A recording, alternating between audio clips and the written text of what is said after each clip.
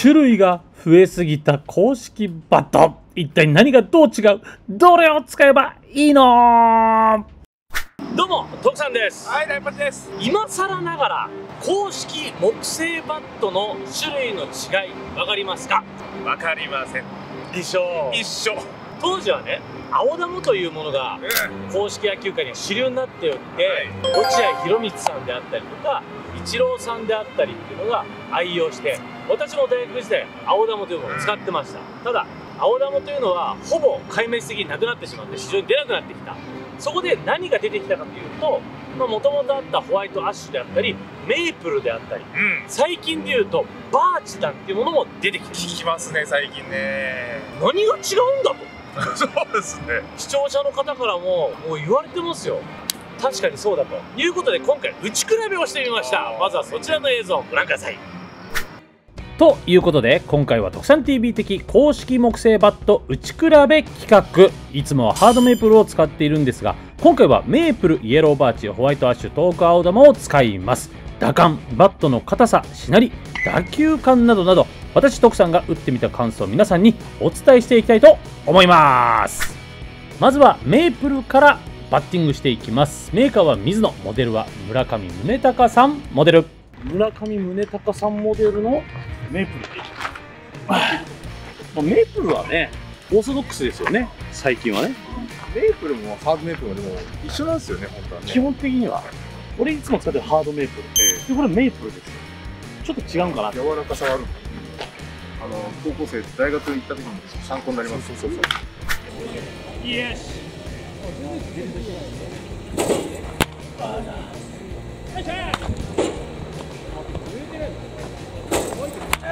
柔らかさ徳さん。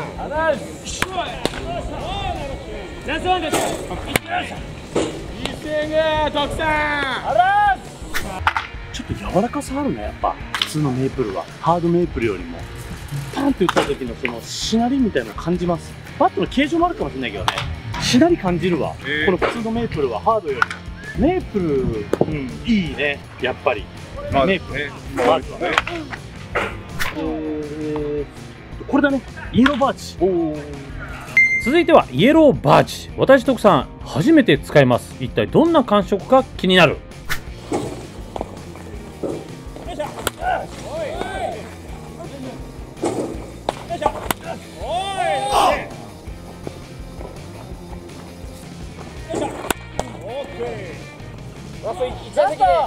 バーチはハードメープルっぽいあとやっぱ弾き的にあのビクタスハードネイティブよりもちょっとこうグニュっとグニュッという打感は感じるな。だからこう押し込む感覚っていうのはある。うん。まだ2つしかやっておりませんが音が違いました。聞いてみてください。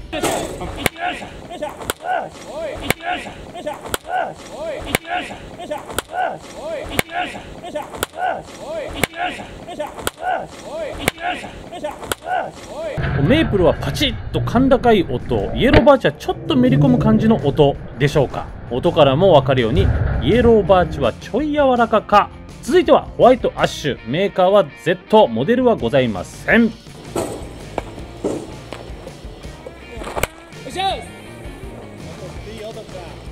音がいい。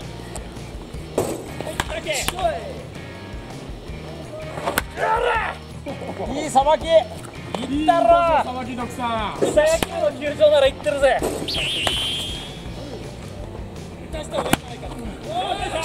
素晴らしい。しゃあいやホワイトアッシュ俺ごめん大学ぶりぐらい打ったけどこれめちゃいいな。柔らかいし詰まってもそんな痛くない。吸収してくれる。ただアッシュはやっぱ劣化が早いからそれがリスクだぐらいでアッシュいいね。特に俺右手リードだからバインってした時にこのあ運ぶかすごくいいそしてそして続いては東北青ダモこれあまり馴染みのない木材ですが実はアルペン東京へ行った際に東北青ダモめちゃくちゃ気になってました。まあど聞いたことないんでね。私が学生時代使った青ダモは北海道産。果たしてどんな打感なのか。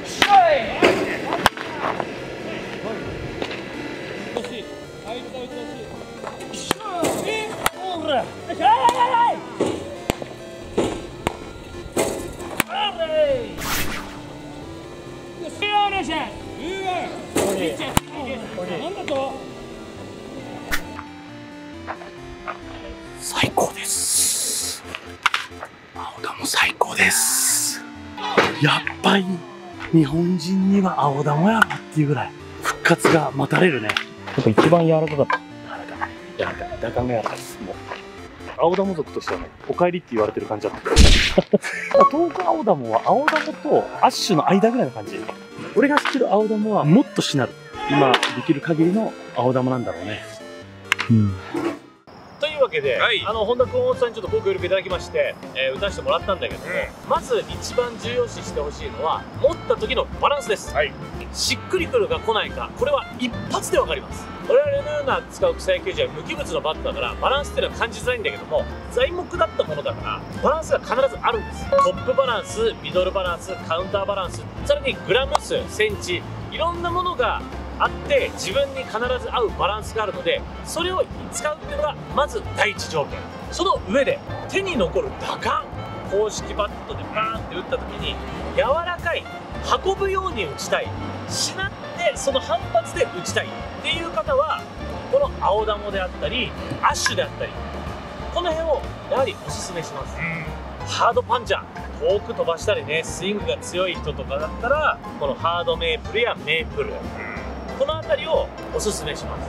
でバーチはい。これ新種ですよ。最近だとギータとか吉田正尚さんとかも使ってる。そう使ってる。これでバーチ俺も初めて打ちましたどっちかっていうとハードメープルメープルよりの硬いやつなんだろうなって思ったんだけど意外としなりがありました。